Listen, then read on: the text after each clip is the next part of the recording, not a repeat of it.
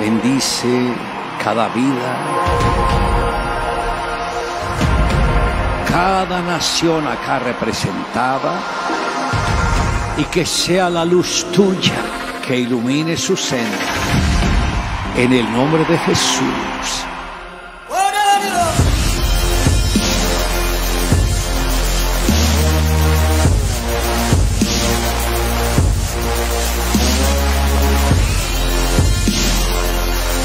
Tienes visión, Dios te da provisión para todo lo que tú necesites. En cuanto entro y vengo caminando para acá, siento una sensación sobrenatural. Hay una unción de resurrección en este lugar. Porque aquí es la nación del avivamiento, es donde inicia todo. El poder de Dios está sacudiendo este lugar. Por eso Dios está obrando. Algo pasó, algo sobrenatural. Esta visión va a correr por todo el mundo. Y ustedes van a ser esos líderes que el Señor los va a empoderar en sus naciones. There are people here today Hay gente aquí hoy who need to surrender. que necesita rendirse. Give it to Jesus. Dáselo a Jesús.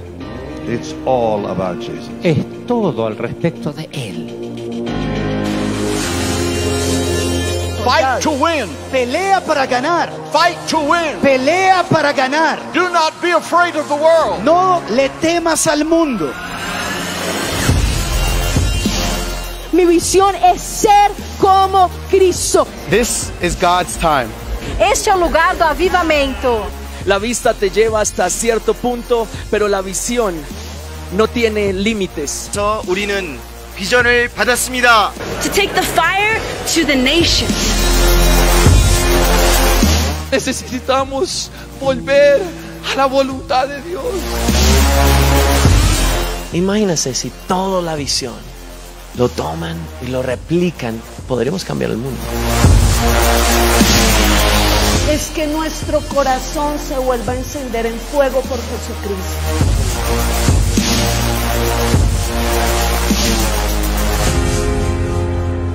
No vas a caminar, no vas a correr, vas a volar.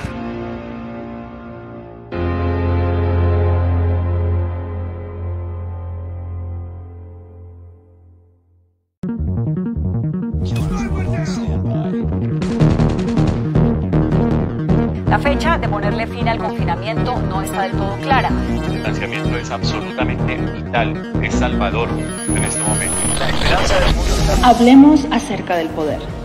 El poder que resucita a los muertos, da vista a los ciegos y calma tormentas. Este poder está a tu alcance para obrar milagros a través de tus manos.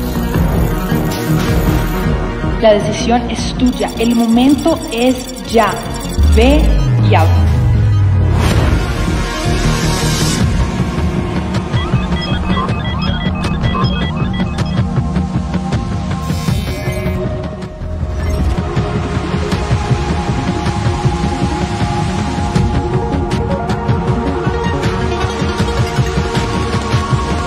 El Espíritu Santo es el único que nos va a dar poder, poder, poder.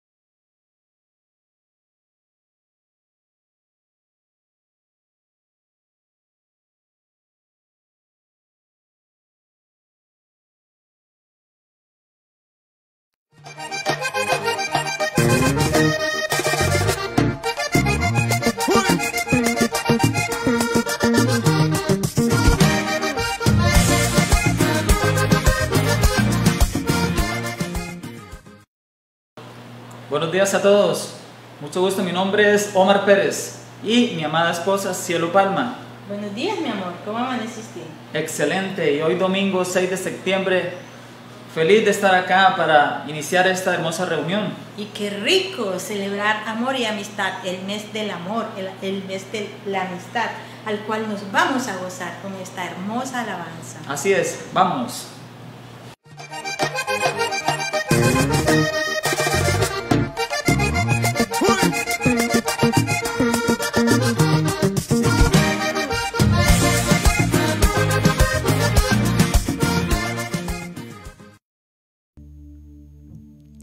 Buenos días iglesia, qué bendición estar con ustedes en este tiempo de alabanza, en este tiempo de adoración.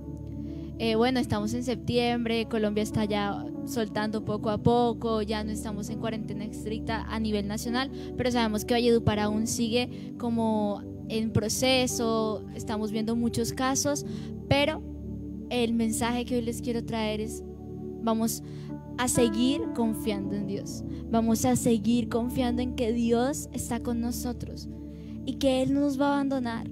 Si tú cumples con cuidarte, con proteger tu casa con la sangre de Jesús, Dios está contigo. Así que ahí donde estás, cierra tus ojos y dile, Señor, yo sé que tú estás conmigo. Yo sé que, que aunque pase lo que pase, tú estás, Señor, aquí y tú nos proteges, Señor. Somos tus hijos y lo creemos.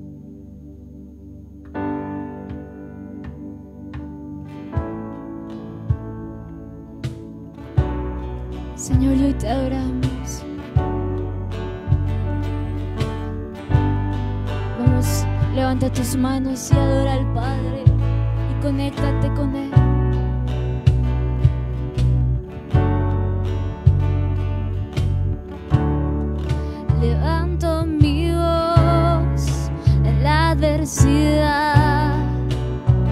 Yo confío y tú obrarás. No es por mi poder ni por mi fuerza, por tu espíritu, Señor. Lo puedes escuchar.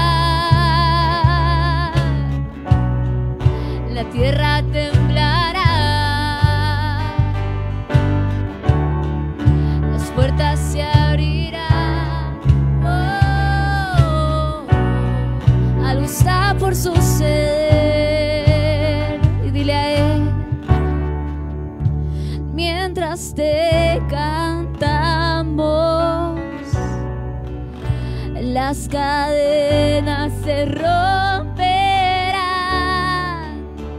mientras te adoramos, las murallas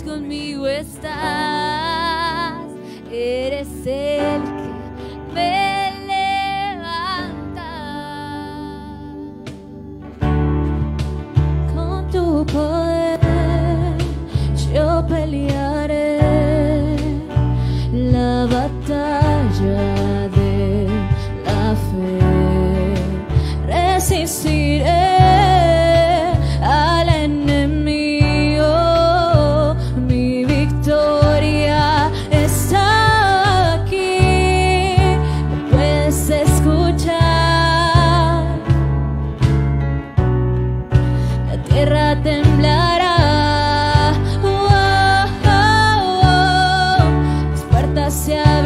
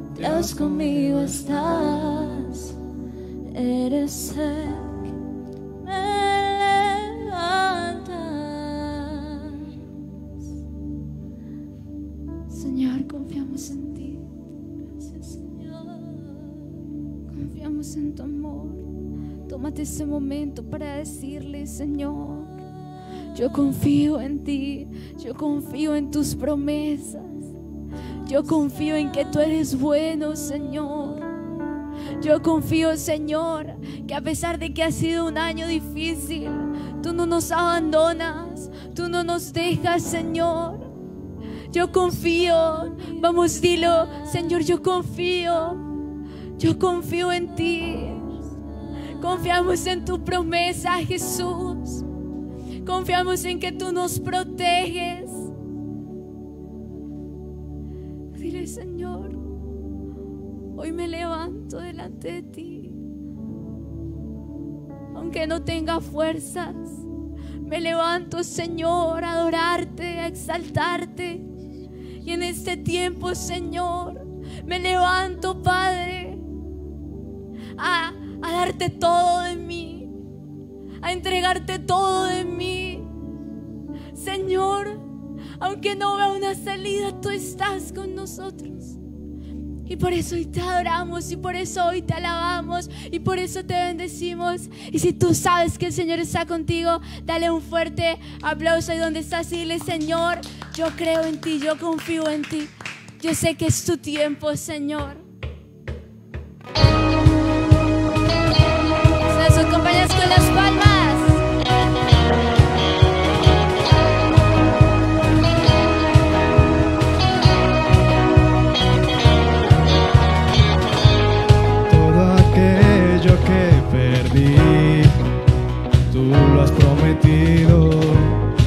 algo nuevo tú harás. Tú me has redimido.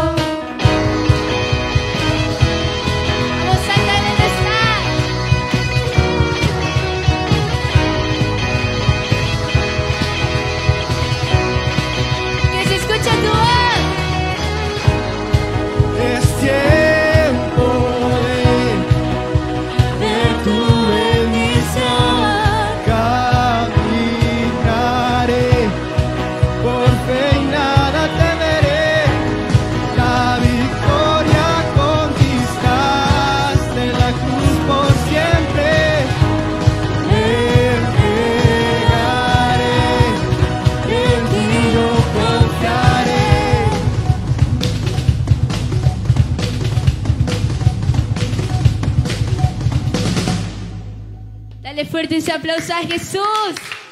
Dile, Señor, confiamos en ti, creemos en ti. Y prepárate para una poderosa palabra.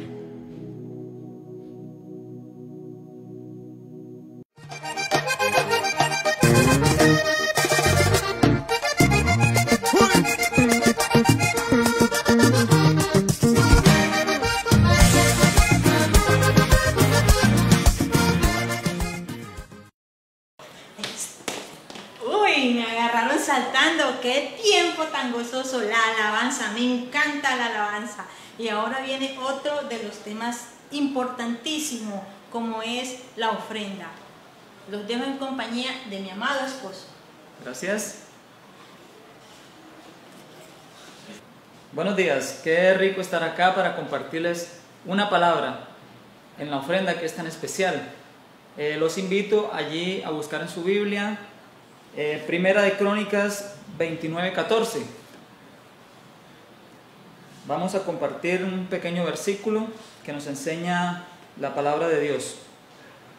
Y dice, leemos la palabra en el nombre del Padre, del Hijo y del Espíritu Santo. Pero ¿quién soy yo? ¿Quién es mi pueblo para que podamos darte estas ofrendas voluntarias?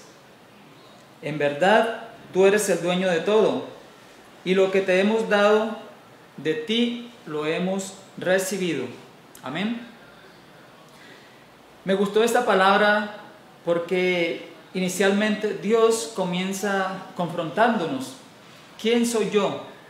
¿Quién es mi pueblo? Nos preguntamos. Muchas veces andamos distraídos sin buscar de Él, que es quien nos da la vida, es el que nos da todo, podemos respirar, cada mañana nos levantamos con toda la energía. Es cuando ponemos a cargar nuestro celular y amanece al 100%. Así Dios nos da la oportunidad de levantarnos cada día y más cuando confiamos en Él. Acá en esta palabra nos dicen quién soy yo y quién es mi pueblo.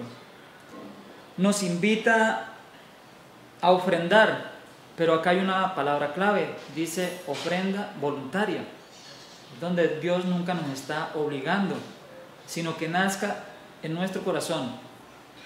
Entonces, como primero, debemos reconocer quiénes somos, hijos de Dios. Debemos tener un corazón sencillo, humilde, agradable a Él, para poder dar una ofrenda que nazca de nuestro corazón.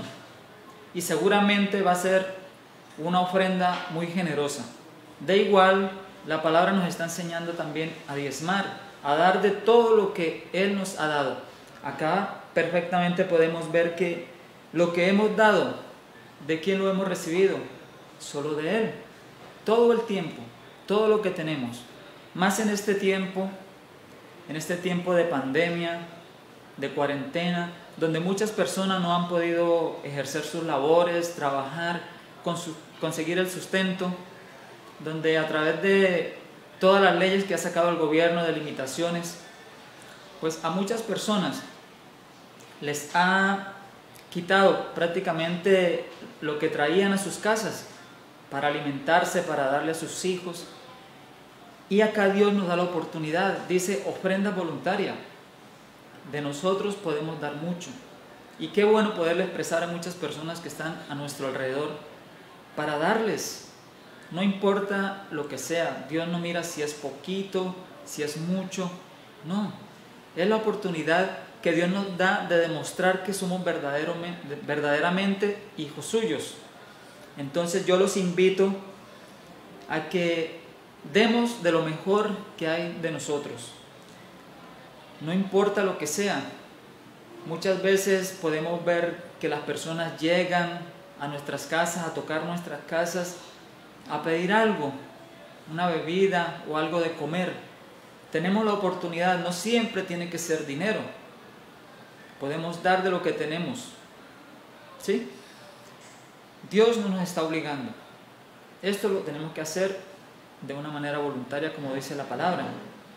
Aprovechemos este tiempo que, en la cual hemos visto verdaderamente la mano de Dios, donde a través de, esta enfermedad que, que supimos a qué hora llegó, en muchos hogares se metió y la gente andaba distraída pero los que hemos estado firmes en los caminos de Dios, gracias a Él, nos está cubriendo continuamente a través de esa sangre que nuestro Señor Jesucristo derramó allá en la cruz por cada uno de nosotros. Entonces los invito a que demos de lo mejor, demos nuestra ofrenda de corazón, vamos a diezmar. Amén. Bueno, seguramente Dios ha tocado sus corazones entonces los invito a traer su ofrenda. Aquí en pantalla podrán ver los teléfonos con quien puedan comunicarse. Si quieren diezmar, ofrendar, podemos ir por ellos. Entonces, los invito a no perder esta oportunidad.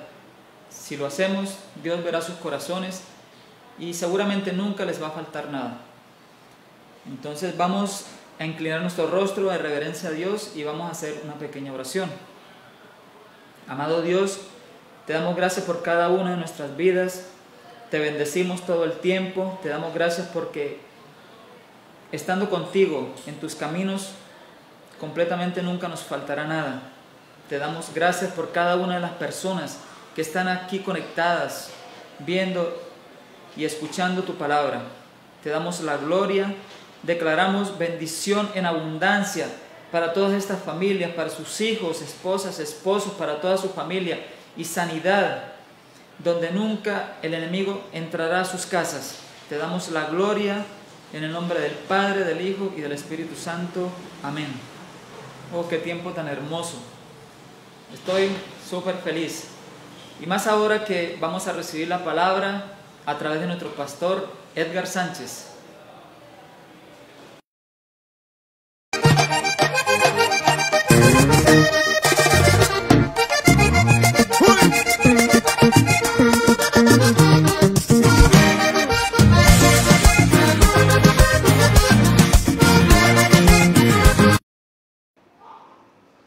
Buenos días.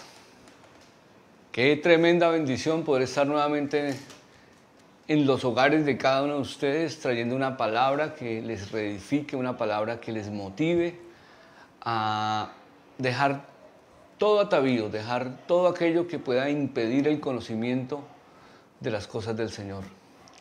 Hoy, 6 de septiembre, el Espíritu Santo me decía acerca de me hablaba acerca de la eternidad y me puse a pensar, me puse a meditar acerca de esta palabra y entendía cosas que de pronto nunca había analizado.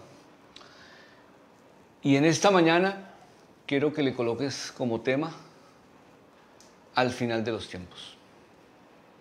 Paradójicamente, cuando hablamos de eternidad, lo primero en lo que pensamos es en el tiempo.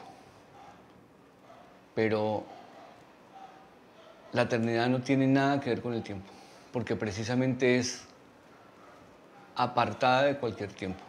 Precisamente va en contra de estar limitada por el tiempo. Y la eternidad es uno de los de las características o las, de las esencias en que se mueve el Señor nuestro Dios. Muchas veces creemos que, o muchas veces no, nuestra vida la tratamos de enmarcar en tiempos o temporadas en espacios limitados de tiempo. Vivimos en el pasado, vivimos en el presente, vivimos en el futuro, pero nunca podemos hacer una, una mezcla de las tres cosas. Y he aprendido de parte de Dios que tenemos que vivir en el presente, que es algo así como, es lo más cercano a la eternidad que nosotros podemos eh, entender. Entonces ahí donde estás, inclinemos nuestro rostro y orémosle al Señor para que en esta mañana la palabra de Dios sea revelada a nuestro corazón y podamos entender la esencia que hay en la eternidad de Dios. Padre, te damos gracias por este tiempo. Bendecimos tu nombre, Jesucristo. Te pedimos que la sangre preciosa de tu Hijo amado venga en esta hora sobre cada una de nuestras mentes, de nuestros corazones, que seamos limpiados por esa sangre preciosa para poder entender, para poder comprender para poder meditar en tu bendita, buena y agradable palabra, Señor Dios. Que todo argumento que impida que el conocimiento de la palabra penetre hasta nuestros corazones sea ahora mismo clavado en la cruz de Cristo. Anulado, Señor, todo decreto que había en contra de nosotros para que entendamos la palabra. Te pedimos, Señor, que esa palabra ministre en nuestros corazones. Te pedimos, Señor, que esa palabra abra nuestro entendimiento a la realidad tuya, Señor, y que podamos compartir tu eternidad, Señor, en el nombre del Padre, del Hijo y del Espíritu Santo. Amén y amén. Entonces, en primer lugar, sería bueno que analizáramos precisamente el término eternidad o a qué hace referencia eh, la palabra cuando hablamos de eternidad, cuando se refiere específicamente al Señor, a nuestro Padre Celestial. Y hay dos palabras en el que nos muestran, a través de las cuales el Señor se ha revelado, precisamente hablando de la eternidad.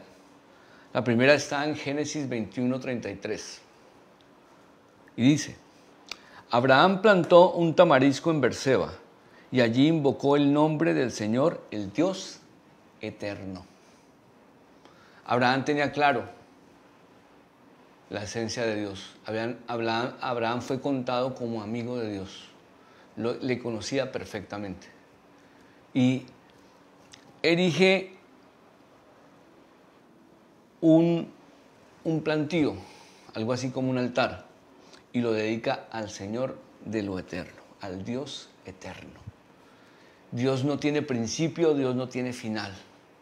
Dios no tiene puntos intermedios. Él es, ha sido y será por los siglos de los siglos, independientemente del tiempo que pase, independientemente del tiempo que haya pasado.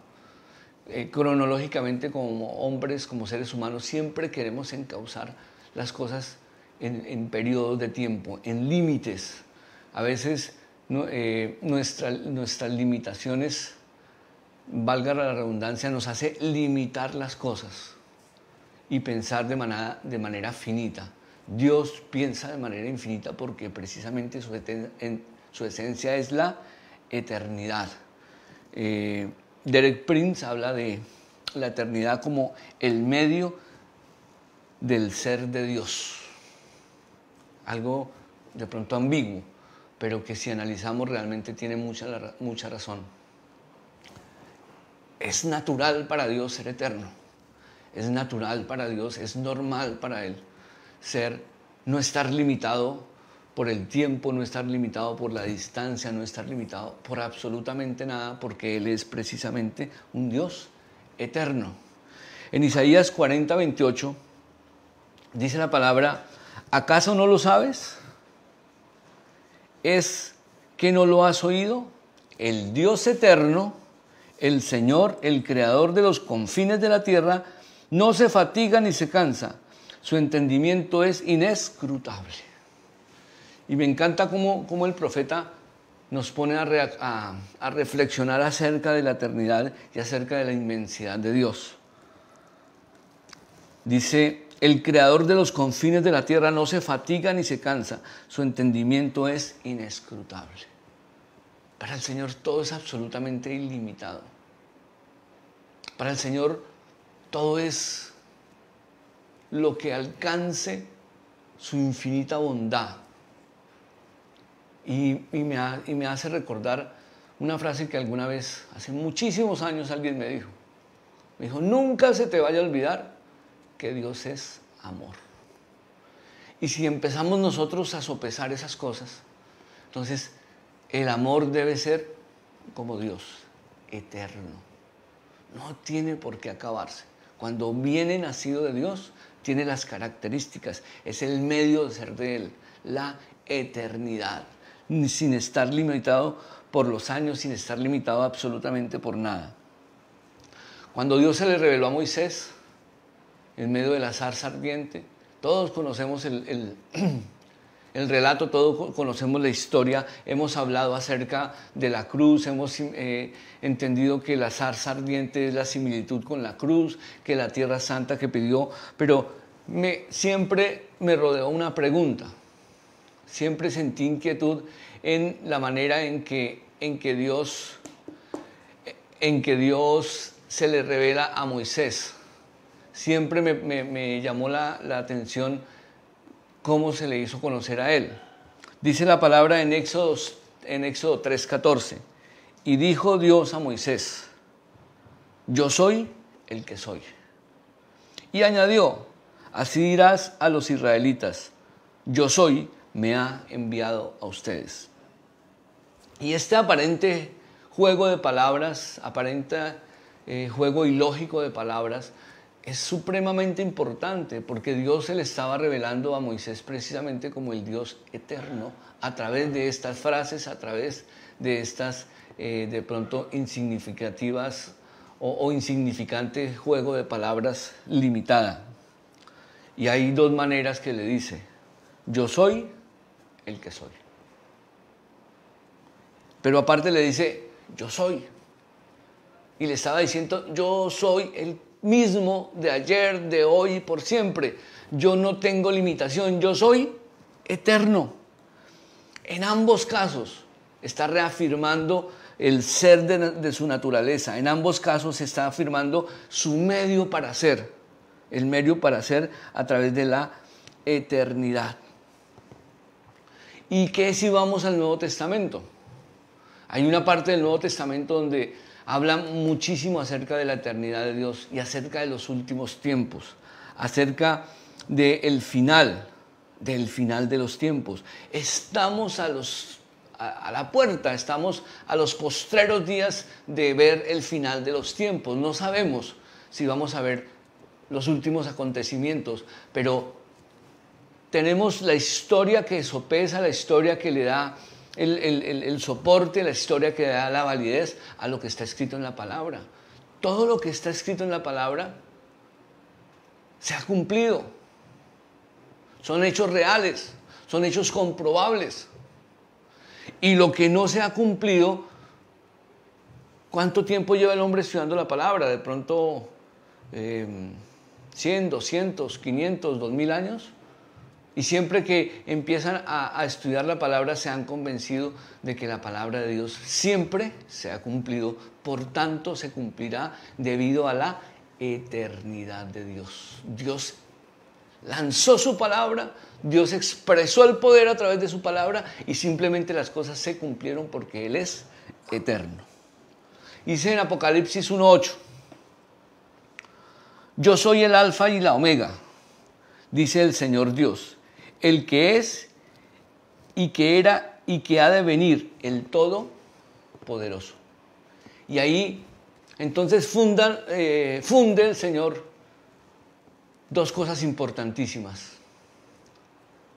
La eternidad con la omnipotencia. Es eterno, no es limitado por, por el tiempo, pero tampoco es limitado por el poder. Él es simplemente eso. Existe porque es, no tiene principio ni tiene final. ¿Por qué hablan del alfa y el omega? Porque son la primera y la última letra del alfabeto griego. O sea, el comienzo y el final. Y qué curioso que lo nombre acerca de un alfabeto. Como decir hoy en día en, nuestro alfabeto eh, entre la A y la Z. En las diferentes combinaciones que podemos tener nosotros entre la A y la Z podemos expresar absolutamente todo lo que somos, sentimos o podemos ver. Entonces Dios lo que está diciendo es eso. Él es eterno. Él es en él se puede encontrar absolutamente todo. En él podemos tener una identificación perfecta. Y había y hay algo que me puso a pensar mucho el Espíritu Santo.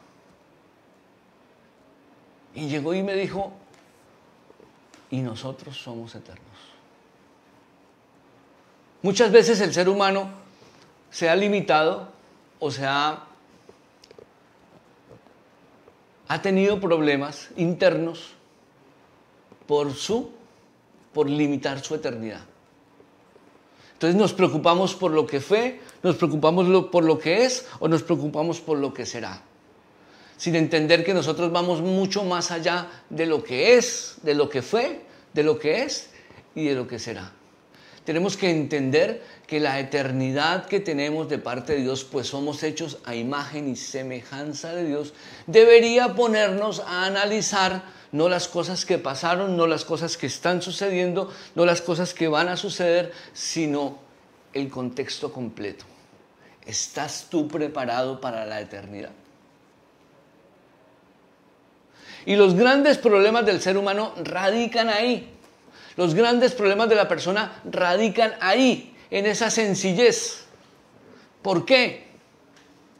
Porque cuando nosotros no estamos conforme Dios nos diseñó, entonces nos sentimos incompletos, insatisfechos, nos sentimos, eh, eh, no nos sentimos realizados.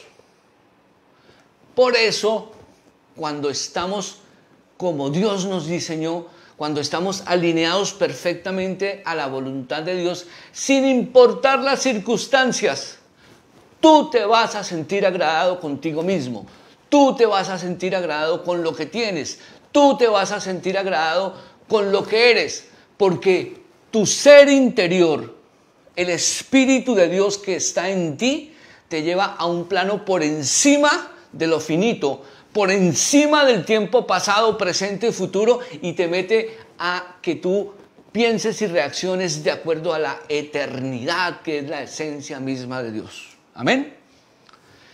Entonces, con ese concepto,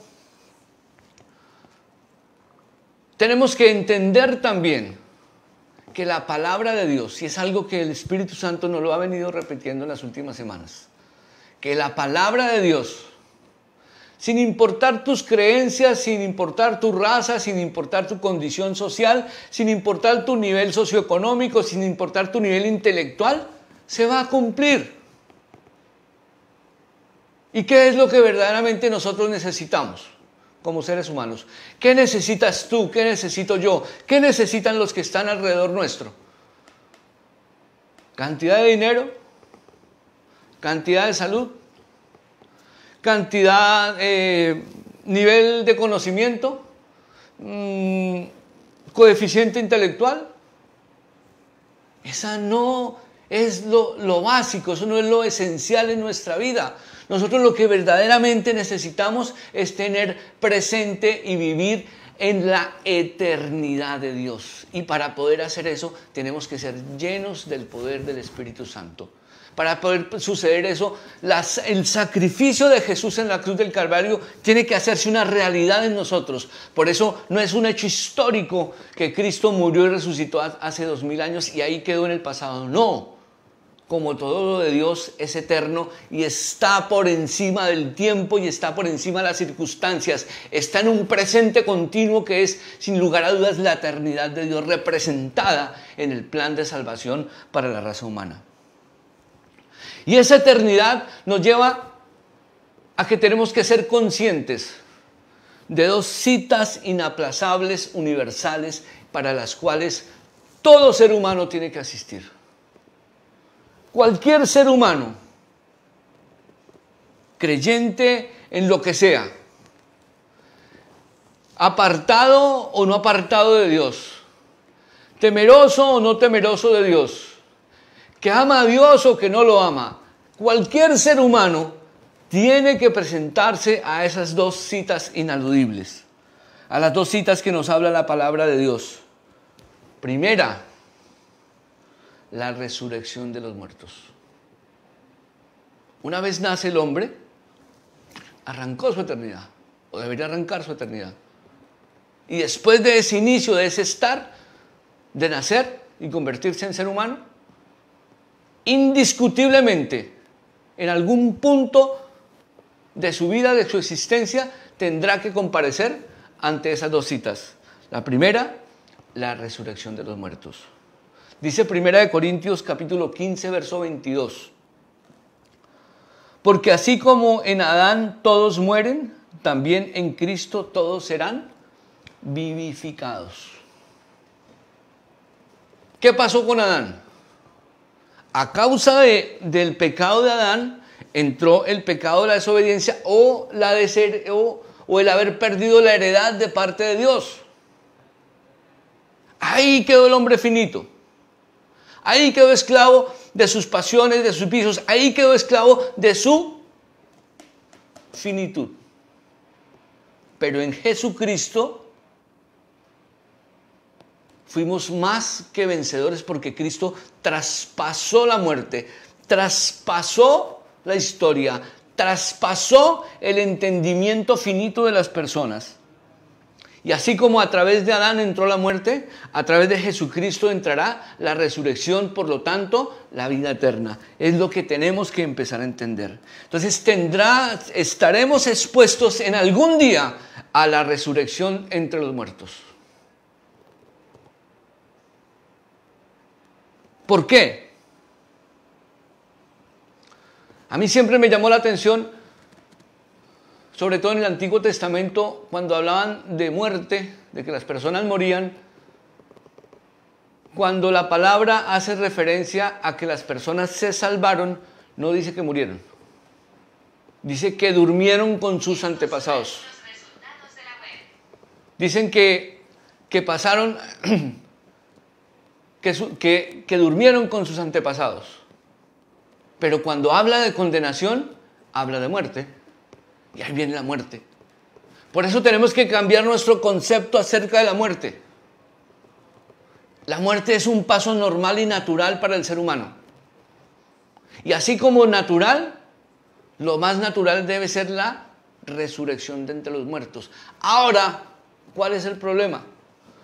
Cuando no estamos preparados para enfrentar la eternidad y para enfrentar esa primera cita importante que es la resurrección de los muertos, entonces dentro de las personas se genera un miedo, se genera un temor, se genera una inconsistencia, se, genera un limbo en, el, en el que no sabe para dónde va. Y ahí es cuando empieza es cuando empiezan a experimentar los dolores de la muerte, los dolores por los seres queridos, pero la muerte debe ser algo natural en nosotros. Es un paso más que nos acerca a Dios.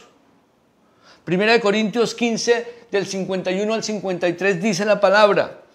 Así que les digo un misterio. No todos dormiremos, pero todos seremos transformados. En un momento, en un abrir y cerrar de ojos, a la, trompeta final, pues la trompeta sonará y los muertos resucitarán incorruptibles y nosotros seremos transformados. Verso 53. Porque es necesario que esto corruptible se vista de incorrupción y esto mortal se vista de inmortalidad. Entonces debo entender que mi muerte, la muerte de mi carne, la muerte de, mi, ah, de mis emociones, perdón, de mis sentimientos, no son nada más ni nada menos que la preparación a la eternidad juntamente con Dios. Y nuestra alma es la que va a recibir la eternidad juntamente con Dios a través de la, de la, resurrección de los muertos o la eternidad totalmente separado de Dios como la segunda muerte llama la palabra de Dios. Y ahí es, dice la palabra, cuando viene, cuando viene el crujir de dientes. Ahí es cuando el hombre será atormentado por el resto de su vida. No por el hecho físico de que se queme o no se queme en el infierno, no. Es por el hecho trascendental que el ser, el alma, lo que, lo que representamos, lo que somos en esencia, estará totalmente separado de su creador. Totalmente habrá perdido el propósito totalmente habrá, habrá perdido la esencia para lo cual fue creado. Y ahí es donde debemos entender que pase lo que pase, haz lo que tú hagas. Tienes la plena libertad porque Dios te la respeta de hacer en esta vida lo que tú quieras. Pero lo que tú estás haciendo hoy en día te prepara para la, segunda, para, para la resurrección de los muertos o lo que estás haciendo hoy en día te lleva a la consecuencia de que para ti no haya resurrección de los muertos. Mira lo que dice Pablo en, Corintios. En un momento, verso 52, en un momento, en un abrir y cerrar de ojos, la trompeta final, pues la trompeta sonará y los muertos resucitarán incorruptibles. Y, nosotros seremos transformados. Ahora, ¿A cuáles son los muertos que resucitarán en incorrupción? Todos aquellos que reconocimos a Jesucristo o reconocemos a Jesucristo como nuestro único y suficiente Salvador personal. Todos aquellos para los cuales fue diseñado o aceptamos el plan de salvación a través de Jesucristo. Entonces es importante que tengamos ese concepto perfectamente claro. Y en segundo lugar, ¿cuál es la segunda cita ineludible? El juicio final. El día en que le van a justificar porque Dios es justo. Entonces el día en que le van a decir, mire, usted pasa de muerte a vida, segunda resurrección, a vida eterna junto a su creador, o usted queda en muerte, segunda muerte, lago que arde con fuego de azufre, por estas y estas razones. ¿Y qué hace y a qué se refiere la palabra exactamente? Hechos 17, 30 y 31 dice, Por tanto, habiendo pasado por alto los tiempos de ignorancia, Dios declara ahora a todos los hombres en todas partes que se arrepientan. Verso 31. Porque Él ha establecido un día en el cual juzgará al mundo en justicia por medio de un hombre a quien Él ha designado, habiendo, presentado pruebas a todos los hombres cuando los resucitó de entre los muertos. ¿Y a qué hombre se hace referencia la palabra? A Jesucristo. Deja de vivir en el pasado, deja de lamentarte por lo que pasó, prepárate para la eternidad. Y el prepararte para la eternidad no significa que vayas a dejar de disfrutar lo que hoy tienes. No, todo lo contrario. El prepararnos para la eternidad significa que a pesar de nuestras limitaciones, que a pesar de sus limitaciones, que a pesar de, sus carencias, usted va a tener una vida feliz, una vida llena de gozo, porque está, porque empezó a vivir la eternidad que Dios tiene preparada para usted. Las cosas materiales no son la esencia de tu eternidad. Las cosas emocionales no son la esencia de tu eternidad. La esencia de tu vida, ¿en qué está basada? En que tú seas hijo de Dios, en que tú hayas aceptado el sacrificio de Jesucristo para transportarte de muerte a vida y para, poder, y para que la sangre de Cristo lave tu vida y tú traspases de la muerte a la eternidad en Cristo Jesús. Romanos 14 del 9 al 12 dice, porque para, e, porque para esto Cristo murió y resucitó para ser Señor tanto de los muertos como de los vivos. Pero tú, ¿por qué juzgas a tu hermano? O también tú, ¿por qué desprecias a tu hermano? Porque todos compareceremos ante el tribunal de Dios. Porque está escrito, vivo yo, dice el Señor, que ante mí se doblará toda rodilla y toda lengua alabará al Señor o confesará el nombre del Señor. Verso 12.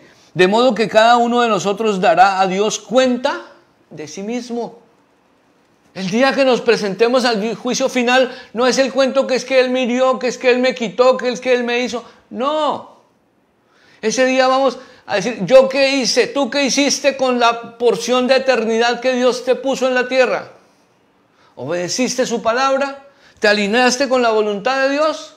¿O permitiste que los engaños de este mundo dañarán tu eternidad. Es algo para, en lo cual debemos empezar a pensar. Ahora, ya para terminar, para cerrar con broche de oro, Apocalipsis 20:12 que dice, también vi a los muertos grandes y pequeños, de pie delante del trono y los libros fueron abiertos. Otro libro fue abierto que es el libro de la vida. Y los muertos fueron juzgados por lo que estaba escrito en los libros según sus obras. Pero si usted se fija, ahí no habla de, de, dos libros, habla de tres libros. Dice, otro, también vi a los muertos grandes y pequeños de pie delante del trono y los libros fueron abiertos. Otro libro fue abierto, tres libros los argumentos a tu favor, los argumentos en tu contra, y el tercer libro, el libro de la vida, donde está el sacrificio de Jesús anulando todos los argumentos en contra de tu vida. Independiente, no es que tú puedas hacer aquí solo males, no, o que los debas hacer, no. Tú si tú estás viviendo la eternidad en Dios, tu misma existencia, tu mismo ser, el mismo Espíritu Santo te llevará, te guiará a hacer buenas obras. Para eso vienen los dones del Espíritu Santo, para eso viene el fruto del Espíritu Santo, que es el carácter de Cristo en nosotros, y eso nos impulsará a hacer las cosas correctas y nos desviará de las cosas incorrectas. Pero independientemente de eso, está el libro de la vida. Cuando tú te escribes en el libro de la vida, todo lo otro pierde la primordialidad de tu vida y solamente tú eres salvo por gracia y no por obras para que nadie se gloríe, enseña la palabra de Dios. Entonces, hoy, de parte de Dios, quiero que medites ahí en familia como estás. ¿Estás preparado para la eternidad de Dios? ¿Estás viviendo la eternidad de Dios, que es la esencia del ser en Dios? ¿O aún tienes temores? ¿O ¿Estás inscrito en el libro de la vida? Mientras tengas conciencia, puedes hacerlo. Es una decisión que tú tomas. Y cuando tú tomas esa decisión, entonces el Espíritu Santo te guiará a toda la verdad. El Espíritu Santo te guiará a comportarte de manera diferente. No es que te obliguen o no te obliguen, no. Dios no te coacta la libertad. Dios quiere que tú aceptes de manera voluntaria su eternidad. ¿Estás preparado para eso? Quiero que ahí donde estás inclines tu rostro. Ahí donde estás, inclina tu rostro. Y dile al Señor, al Dios eterno, al Dios soberano, al Dios que hizo los cielos y la tierra. Dile, Señor, en esta mañana, en este día, yo acepto tu eternidad para mi vida. Dios va a ser eterno contigo o sin ti. Tú te puedes unir o no a la eternidad de Dios. Dile, hoy acepto, entiendo y comprendo que Jesucristo murió en la cruz del Calvario y resucitó de entre los muertos para que yo pueda experimentar la resurrección en Cristo Jesús. Por eso acepto el plan de salvación a través de Jesús. Por eso reconozco que Jesús murió por mi pecado, murió por mi vida pasada. Y quiero, Señor, que la sangre preciosa de Jesús lave mi corazón. Quiero, Señor, que tú pongas mi nombre en el libro de la vida. Que nunca lo borres. Jamás se ha borrado mi nombre de ese libro. Y que yo pueda estar juntamente contigo. Que yo pueda entender, comprender y empezar a vivir en la eternidad de Cristo Jesús. Para que me pueda presentar, Señor, a esas dos citas inaludibles. Que me pueda presentar a la resurrección de los muertos y no sea confirmada mi muerte, sino que sea ratificada la vida a través de Jesucristo. Que yo pueda pasar en ese momento de lo, de lo corruptible a lo incorruptible y te pido, Señor Dios, que a través de tu sangre preciosa mi vida sea lavada y transformada. Hoy abro mi corazón, le entrego el control de mi vida a Jesucristo y te pido, Señor, que me llenes con el poder del Espíritu Santo para poder disfrutar de la eternidad juntamente contigo. En el nombre del Padre, del Hijo y del Espíritu Santo. Amén y amén. Amigos, Dios les bendiga. Dios les guarde. Nos vemos la próxima semana. Que esta palabra que Dios ha traído a tu vida sea esencia en esta semana. En el nombre de Jesús. Amén y amén.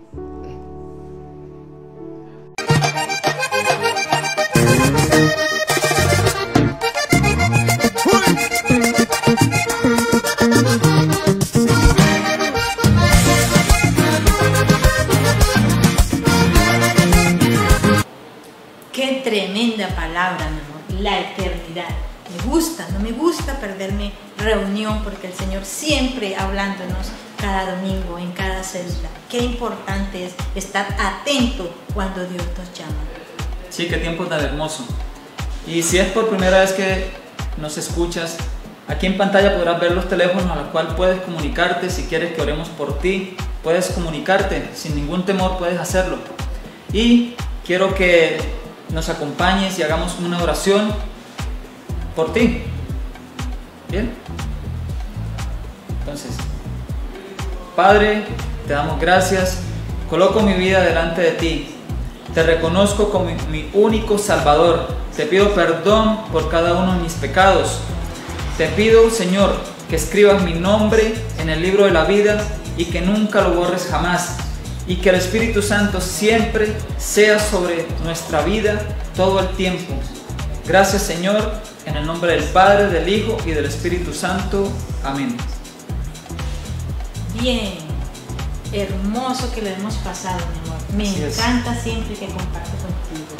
Me las gozo y el Señor siempre guardándonos y protegiendo nuestro amor, nuestro matrimonio. Así es mi vida. Y más en este tiempo que siempre esperamos una fecha especial como mes de septiembre para dar detalles.